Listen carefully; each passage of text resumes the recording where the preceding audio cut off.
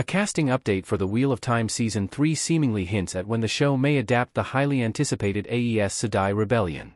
Remembered as a massive turning point in Robert Jordan's Wheel of Time books, the coup against Siuan Sanche set up several important stories in the source material, including another rebellion.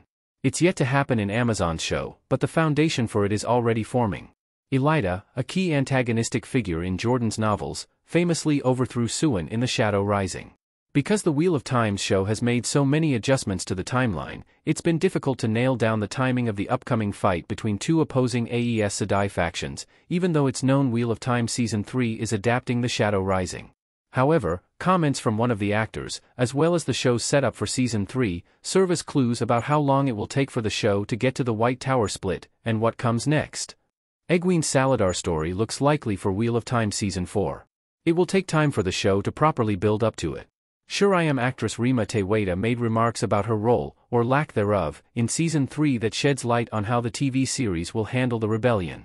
According to Te Wiata, Wheel of Time showrunner Rafe Judkins said that Sheriam won't appear in Season 3 because of the books.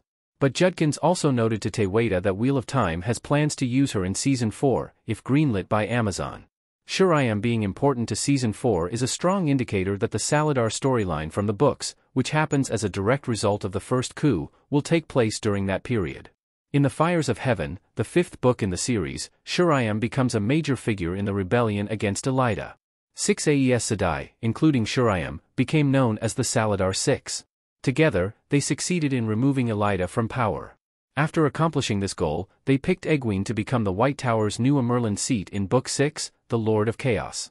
Due to Sheriam's role in all of this, there's a good chance that this is why the Blue Ajah member will be needed for Season 4. What the Wheel of Time's Aes Sedai storyline tease means for Season 3. Siuan Sanche may be overthrown when Wheel of Time returns. Aes Sedai stand in the Hall of the Tower in the Wheel of Time. The idea that the Salidar 6 will take shape in the Wheel of Time Season 4 is a sign that the show will get a new Amyrlin seat in Season 3.